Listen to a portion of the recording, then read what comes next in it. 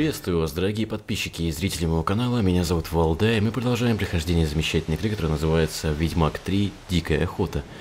Ну что ж, собственно, Геральт у нас перегруженный, уставший изрядно, поэтому давайте сразу поставим точку на, собственно, на ближайший магазин, на ближайшего торговца и поедем продаваться, потому что у нас куча всего есть интересного, того, что нам хотелось бы продать.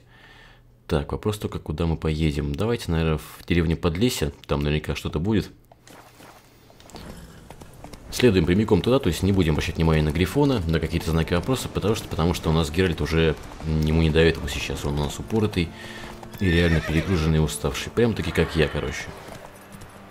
Я просто тоже, на самом деле, очень упоротый и уставший, записываю поздно ночью, после работы, отработав 14 дней подряд без выходных.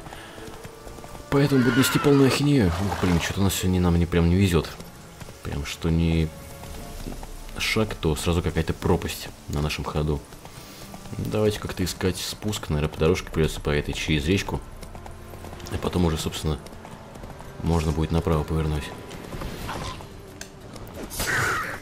Получай, ублюдок. Но их трогать не будем, просто пройдем мимо. Нам они сейчас совершенно ни к чему. Абсолютно. Так, ну что же, эта дорога выведет нас, по идее, прямо к деревне. Туда, куда нам нужно. 200 метров. Хотя нет, смотри-ка, она уходит... Ну, хотя да, в принципе, да, можно было проехать по ней, но я решил проехать напрямки. Так получится немножко побыстрее. Ну, а вот, собственно, и деревенька. Так, ну давайте Шевелись, поищем папа. здесь местных торговцев каких-нибудь. Вот, например, я уже вижу бронника или мечника, в общем, неважно, потому что у нас с вами дофига и брони, и мечей, и все что угодно. Чего уставился? Ходит такой, от скуки бедных людей беспокоит. Расслабься, женщина. Я просто мимо проходил. Так, ну, как видите, кузнеца здесь я не наблюдаю, поэтому давайте помедитируем, часик заодно установим наши зелья. Так, медитация. Уровень сложности мы повысили, поэтому здоровье прям восстанавливаться не будет при медитации, но зелья, благо, восстанавливаются по-прежнему. И это не может не радовать. Так, я по-прежнему не вижу кузнеца, и меня это немножко начинает напрягать. Может быть, он в доме сидит? Давайте пойдем в дом, посмотрим тогда. Эм, пум-пум-пум. Кто нас, бедных людей, от этих головорезов защитит? Ну как кто? Я, конечно. Так. Такого. Недалеко от Подлесья, в кротах эльфский погост имеется. Тьма тьмущая, чудищ там водится. Да ты что, да? Ну, я заглянул, спасибо. Хотя, по-моему, это уже заглядывал, на самом деле. Возможно, вполне.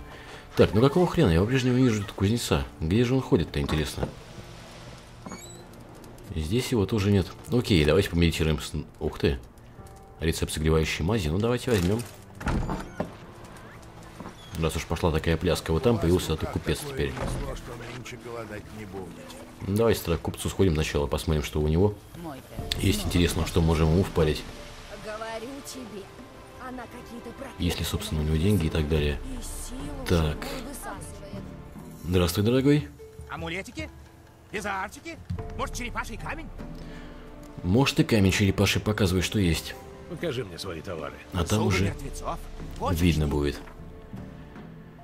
Так, ну в любом случае включаем последнюю вкладку, потому что там у нас именно товары, которые на продажу пойдут. Ну, посмотрим сначала, что у него, собственно, интересного есть. Набор ученика, Набор подмастерья, в принципе, не интересует. Обычные сидельные сумки у меня такие же. Не, у меня даже прокачи не получается уже. В принципе, кольца всякие разные, конечно, есть. Ну да в топку. Так, алхимия, вот другие предметы. Начнем с этого. Роза памяти пока оставим. Кружку забирай. Шкуры. А, у тебя нет денег. Ну что же, забирай. И осталось 18 монет. Что можем продать ему за 18 монет? Прах можем забрать весь. Наверное, лестницу вот эти веревочные еще тоже. Одну. Ну и одна монетка. Ладно, фиг с ним. По-прежнему перегружены все равно на 9 пунктов, но уже, по крайней мере, не на 12, как было до этого. То есть Прощай. хотя бы 3 пункта груза мы ему скинули, ну и хотя бы э, избавились от чего-то, какого-то хлама. Боже мой, нет, не буду я воровать. Такую же хочешь? Это тебе в Каэр Морхен. Родная моя. Не видно казнеца, поэтому давайте помедитируем тогда. Подольше, пусть он появится наконец. Давайте вот до 10 утра. Я думаю, что любой уважающий себя кузнец в 10 утра уже должен приступить к своему делу. Поэтому, по идее, думаю, что он будет здесь. Да, отлично. Вот он стоит, бронник. Великолепно. Ну, здравствуй, дорогой. Покупайте, Габриэль! Мечи продам тоже ему, просто потому что мне впадло уже ехать искать там кого-то другого. Просто впарим все ему. Напросто. У нас там куча всякого разного добра. Хорошие, конечно, мечи. А, у него денег мало. Блин, ну что ж ты будешь делать-то, а? Ладно, ничего страшного. Так, друзья, на секунду прервусь, буквально на одно мгновение. Так, друзья, продолжаем. Извиняюсь за небольшую заминку. Звонят мне с работы, отвлекает. Ну что ж, продаем этот меч. 283 монеты. Блин, и кому же мне продавать-то остальное тогда, интересно? Ах, надо было, наверное, дешевые мечи продать, и тогда бы у меня и места было в инвентаре побольше, ну, свободного в смысле. И все было бы хорошо. Но уже поздняк метаться, что называется.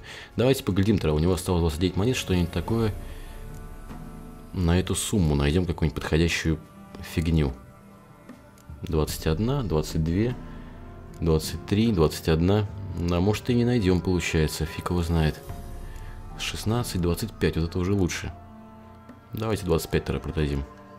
Вот этот меч. Так, ну что же, 4 монетки. В принципе, что еще можно сделать? Попробовать можно у него э, починить, допустим, наши мечи. Как вариант, да? То есть, получается, вот этот меч починить. Этот тоже. У меня, конечно, были ремонтные наборы, это все понятно, но просто починим, потому что таким образом, по крайней мере, денег у нас будет, у него будет побольше, и мы сможем что-то еще ему продать. И таким образом получается, что он нам отремонтировал наши вещи за, собственно, наши же вещи, получается так.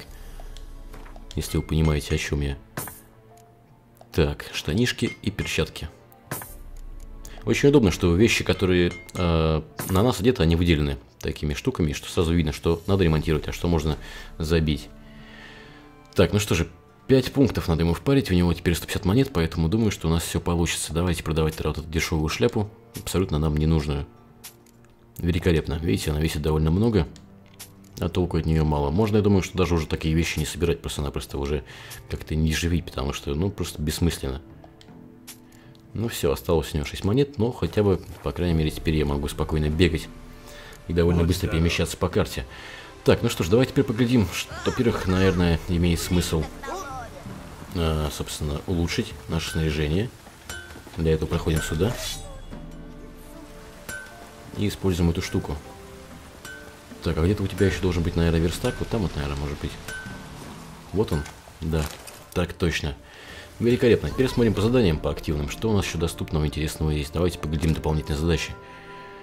Так, 13 уровня это у нас на скерриге, это пока нам все не по уровню. Вот это надо смотреть, значит, получается смертельный заговор, например, 14 уровня. Видя, что Дикстер держится рядом с чародеями, а затем даже помогает им бежать, Герель предположил, что бывший шпион делает это не бескорыстно и наверняка просит услугу за услугу. Ведьмак не ошибся, и два чародея отбыли к гостеприимным берегам Ковера. Дикстер тут же признал, что готовит покушение на Родовита и предложил Ведьмаку встретиться в Пассифлоре и все обсудить. Ну что же, это, по-моему, вполне интересный квест, поэтому давайте попробуем. Почему бы, собственно говоря, и нет. А, теперь вопрос у нас, где у нас тут имеется... Вот он, столб быстрого перемещения. У нас как раз стояла у него метка. Вот давайте к нему подойдем и переместимся. По карте мы перемещаемся, получается, куда? Это наверняка у нас где-то в этом самом. Где-то в Новиграде, скорее всего, должно быть, я так полагаю. Да, так оно есть. В принципе, тут очень даже недалеко будет бежать, поэтому давайте вот сюда вот на мост Святого Григора. Или Григора, кому как больше нравится. В некоторых диалогах существует ограничение по времени. Делайте выбор быстрее, иначе это сделают за вас. Да, это мы уже наблюдали. Это нечто подобное, собственно, наверное, система перекочевала из многим известной игры Walking Dead и других игр Telltale Games. То есть они, в принципе, скорее всего, были родоначальниками вот такой системы выбора диалогов, когда идет время и когда нужно быстрее думать, когда времени на размышления нам игра не предоставляет. Это в целом прикольно, нас нагоняет такой паники небольшой, когда какая-нибудь там сюжетная перипетия – та или иная. И нужно торопиться с выбором. Так, нам построили маршрут, поэтому давайте по нему и будем двигаться. Я так полагаю, что нам нужно забежать наверх, получается, наверное, да? Ну да, вроде как нарисовано нам правильно. А, так мы уже, получается, пришли, что ли? Так выходит? Или нет? Ну, похоже на то, только спуститься нужно ниже. Он наверняка сидит на первом этаже.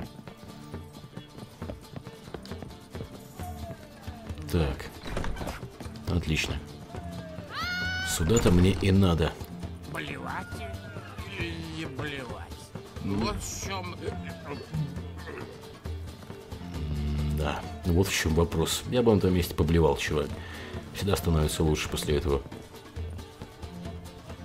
Белый волк, добро пожаловать в Пасифлору. Да ты, вижу, меня не узнаешь. Мое почтение. Ничего страшного. Когда мы последний раз виделись, наверное, я по-другому смотрелась. Это было... Давно это было. Вы тогда с Лютиком пришли и двумя низушками. Ну и смеху было с этими мальцами. До сих пор вспоминаем. О, извини, но я здесь. Тише, тише. Я отлично знаю, зачем ты здесь. Они ждут. Сюда, пожалуйста. Ну, давай. Прошу наверх. Нифига, у тебя какие двери интересные наверх. Я только что оттуда. Могла бы сразу предупредить. Я бы там тогда и остался. Кто это такая? Какие низушки? О чем она говорит? Понятия не имею. Ведьмак Геральт? Давай наверх, шеф уже ждет. Окей. Поднимаюсь, поднимаюсь. Нифига, у меня тут целый кабинет, блин, мать его. Неплохо устроился. А, Геральт, хорошо. Ты не мог выбрать более уединенное место, чтобы обсуждать покушение? Все только о нем и думают, а многие сами бы за него взялись. Бояться нечего. Кроме того, это место с традициями. Здесь Фалька замышляла свое восстание. И, кстати, покушение на короля Вриданка. Значит, равняешься на Фальку? Если я правильно помню, это самый кровавый персонаж в истории Редани. Ее восстание изменило ход истории. И это нас объединяет. А что до крови? Мы пустим кровь только Родовиду. И я рад, что ты решил к нам присоединиться. Признаюсь, я не был уверен, что ты появишься. Так. э,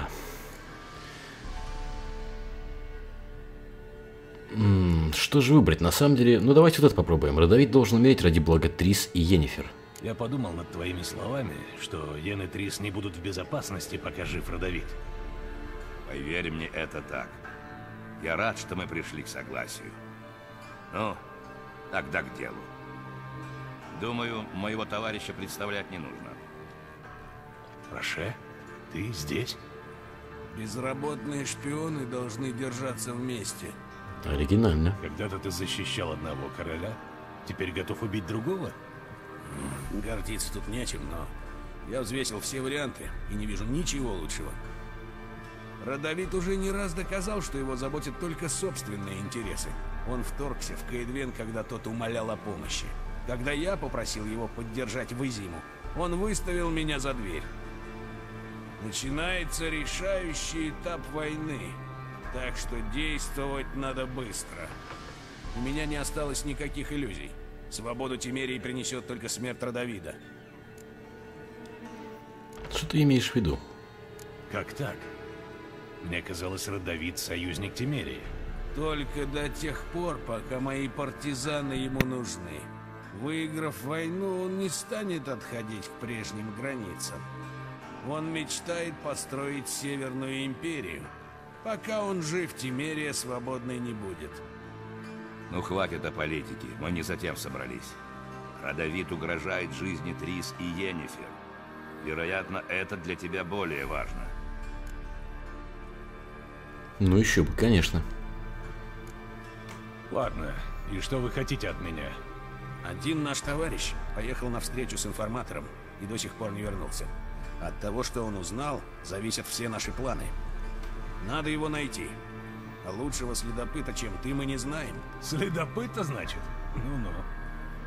Может, еще что-нибудь расскажете? Например, где вы вашего товарища последний раз видели? Он выдает себя за странствующего сапожника. Он должен был переправиться через Понтер и, скорее всего, прошел через Риданский пост. Там у нас свой человек, возможно, он что-то видел. Зовут его Грегор. Так, ну, конечно, не так уж много информации, но тем не менее. У вас есть информаторы в Риданской армии? Вы посвятили риданского солдата в план убийства риданского короля? О, видишь? Даже не все риданцы готовы терпеть Родовида. А когда простые солдаты замечают, что что-то не так, Значит, пора действовать. Ну что же. Ладно, я найду вашего товарища.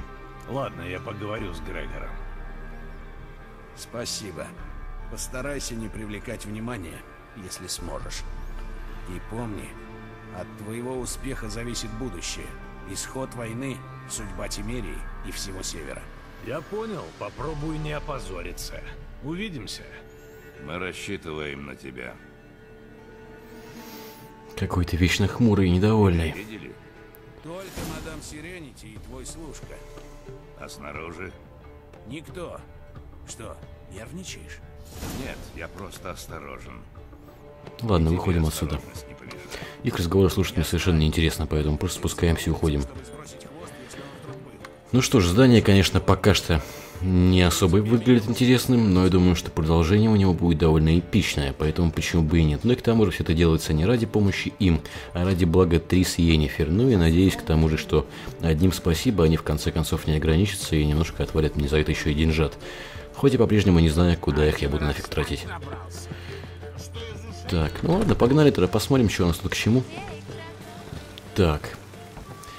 Мне бы какой-нибудь торговца бы еще найти, на самом деле. 969 метров, я думаю, что имеет смысл, наверное, все-таки поправиться тогда...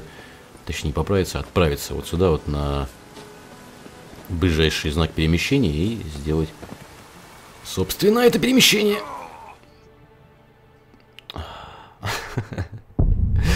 Ну, бывает и такое, друзья. Геральт у нас в этом плане вообще только в путь убивается. С любой маломы... Мне кажется, по ступенькам вот скоро будет просто урон наноситься с каждым шагом. Знаете, там по 5 хп отниматься из 500 за каждый шаг на ступеньке. То есть, блин, что-то как-то вот тянет прям к полу нереально. И сейчас тоже к краю подошел. Я нажал остановиться, то есть я даже в обратную сторону потянул триггер, чтобы он назад пошел, но уже было поздно. Да, ну ладно, по крайней мере, надеюсь, сейчас мы появимся где-нибудь поближе к этому столбу перемещения и в нормальном каком-то месте. Хотя нас имеющий последний сейв загружаем, а когда он был, хрен его знает. Но надеюсь, что после этих всех диалогов, надеюсь, что нам придется заново их проигрывать и нажимать те же самые кнопки, которые мы уже нажимали, и пропускать диалоги. Попробуйте применить быстрые и мощные атаки и знаки. Да-да-да, этим я и занимаюсь обычно. Еще комбинирую уклонение и отскок в сторону.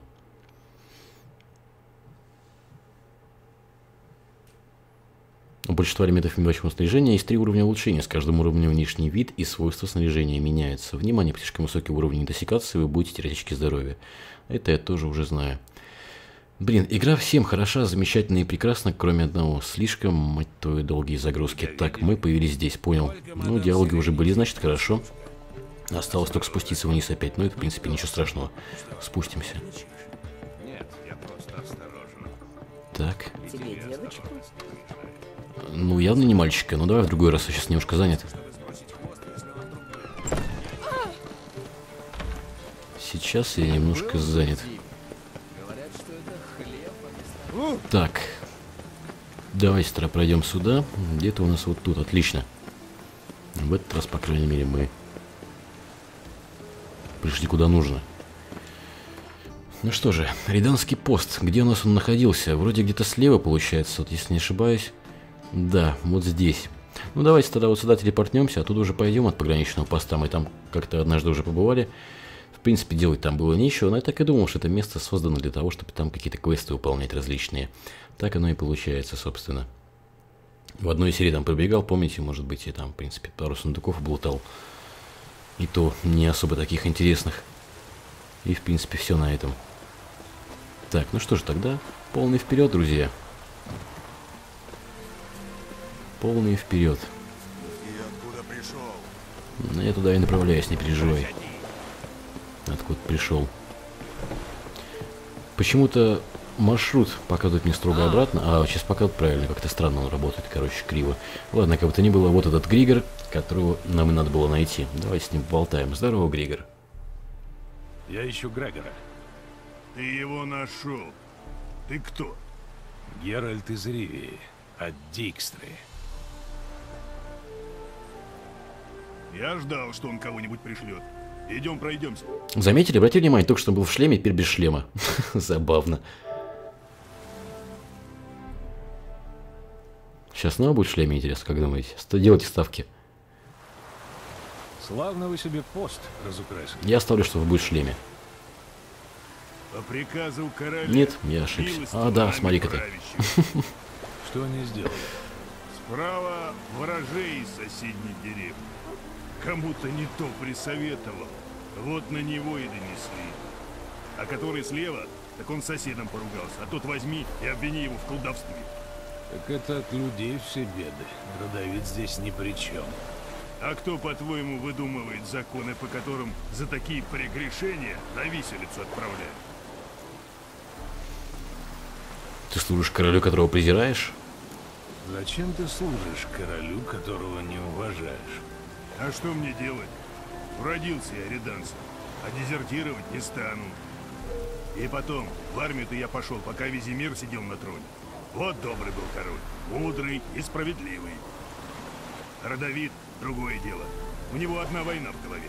А я не хочу, чтобы Редания когда-нибудь вот так вот выглядело. Ну что ж, твои мотивы понятны, давай теперь к делу. Ладно, давай к делу. Ты, наверное, знаешь, зачем я здесь. Надо думать из-за нашего знакомого сапожника. Проходил он здесь, только обратно не возвращался. А вчера патруль видел у дороги брошенную повозку. Я думал сходить, посмотреть, не его ли. Но не смог вырваться. Спасибо. Теперь хоть знаю, где искать. Постой-ка, грамота у тебя охранная есть? Без нее никто тебя не пропустит. Да, все есть. Ну и ладно. Удачи. Спасибо, увидимся. Я уж думал, сейчас мне еще одну грамоту дадут. У меня эти грамоты уже хоть одним местом ешь. Ну что же, ладно, давайте сходим посмотрим. 260 метров нам идти, получается, до какой-то повозки. Давайте даже не будем, наверное, заходить туда внутрь. А хотя тут мост, на мост все равно нужно будет зайти. Ну ладно, сейчас я думаю, что тут запрыгнем. Отлично. Так, ну и пройдем вперед. Кстати, забыл вам сказать самое интересное, может быть, даже покажу, тут в настройках, если есть где-то это... А, нет, это надо в общее меню уходить, в общем, неважно. Загрузил новое дополнение, очень крутое, называется оно «Новые добивающие удары», то есть новые финишеры. Разработчики выпустили, дополнение бесплатное, естественно, для тех, кто купил игру. Закачивается оно автоматом, и это очень круто на самом деле, то есть теперь у нас будут новые красивые коронки в конце концов. Правда, будут они, получается, уже не сейчас, когда, а когда будем драться с кем-нибудь. Так, давайте посмотрим, что за чувак, что он хочет. Странный торговец. А, снова вы? Может, грамотку? Скидочки? Ладно, посмотрим, что я смогу сделать. До свидания, чувак. Я думал, что ты новое скажешь, а ты, блин, я к тебе уже подходил, помню, с грамотками твоя дара мне нужна. На 50 монет за нее давать, уж тем более не собираюсь.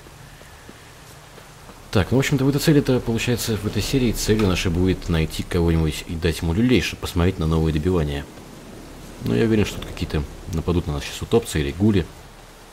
Или еще кто пострашнее. Так, ну как бы то ни было, давайте искать повозку опрокинутую. Да, область поиска, конечно, вообще нереально большая. Ну вот, кажется, повозка. Впрочем. М, повозка, похоже, не повреждена. Угу, вижу следы крови. Надо осмотреться, может, найду что.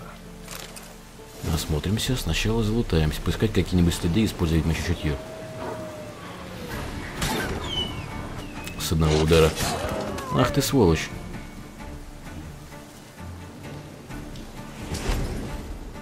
Не тот знак? Ну, в общем, неважно.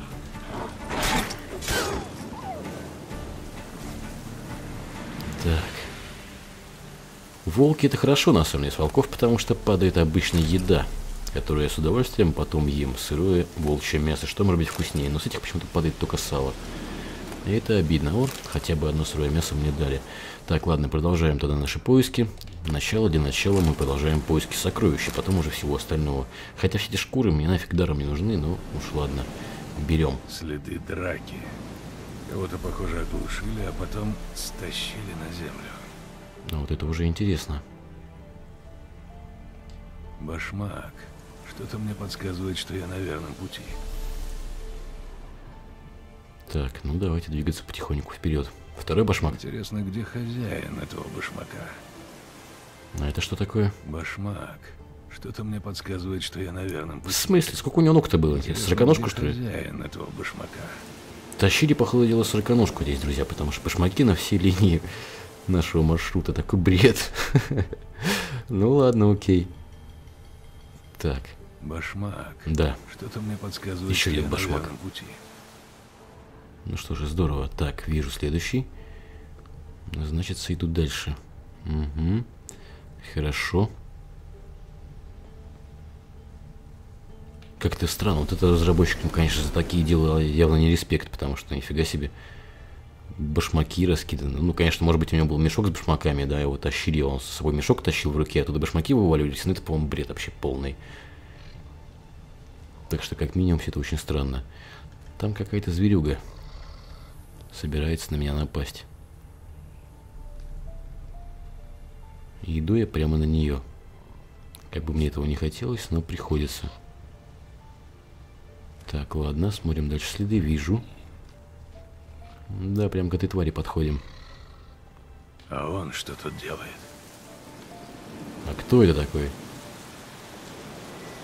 Огр? Это тот самый доброволец, который в армию записался в Риданскую или нет? Скальный тролль. Какого черта? Привет. Возьмак, иди себе. Водки собираю. Да я вижу. Мне интересно, откуда они тут взялись. Выросли, как грибы. Башмаки не грибы, говори правду. Башмаки из земли не растут. Не знаешь, кто их тут раскидал? Р- Рок не может. Ок и Пок будут злые. Ок и Пок. Твои друзья? Находчики. Большие находчики. Нашли человека, а у него бодки на телеге. Вот столько. А что сделали с человеком? Пещеру сделали. Вон туды. Его съели? Не, он костлявый, нехороший. Да. Ог сказал ему башмачить. Для Ога, Ога и Рога.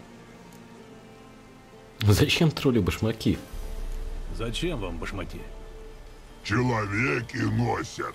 Так Ог, Пог и Рог хотят. Будем большие хозяевы, как человеки. Ну ладно.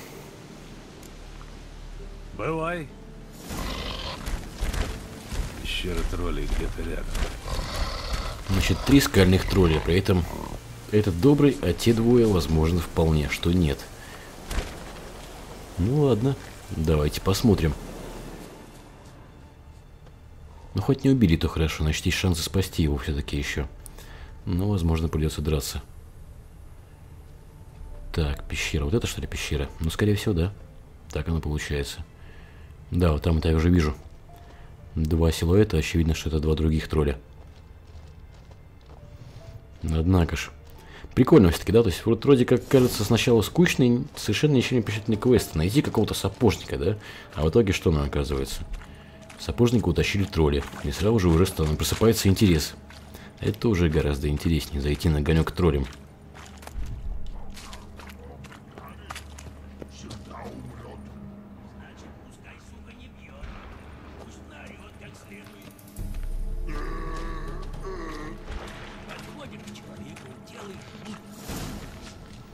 Один другого там учит, как с людьми обращаться. Таля? Ну, конечно. Кто еще будет учить троллей ругаться? Вот оно как. О, Геральт, сколько лет! Этот кто? Спокойно, Ок. Это мой старый знакомый. Иди отсюда! Или суп! Я ужасно жилистый. Это правда. Ты только взгляни на него. Кожа до да кости.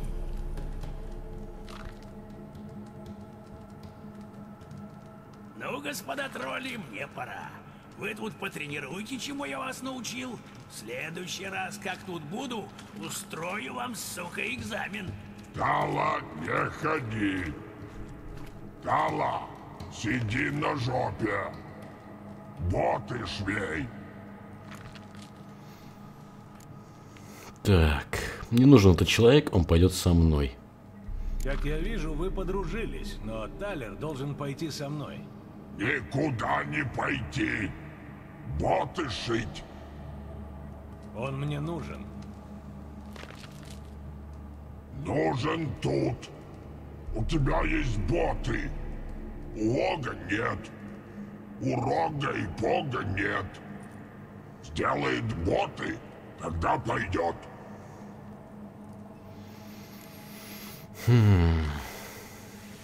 А если так? Так, спокойно. Талер вернется.